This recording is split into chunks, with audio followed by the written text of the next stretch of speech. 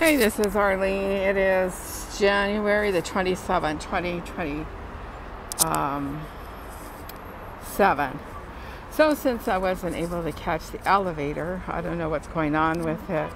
Um, I just wanted to do a video. So, today, um, I was getting targeted in the rectal area and the um,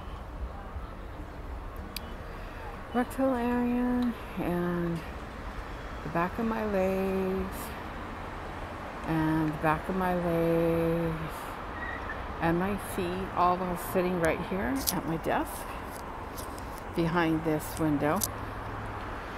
And um, that's what happened. So I just wanted to do a video. I'm just taking a break outside cooling off. This happened at 5640 Santa Monica Boulevard, Los Angeles, California, 90038. We're located next to Gold Diggers. You can Google Maps it, you can Google Earth it, or you can Yelp it to see where we live.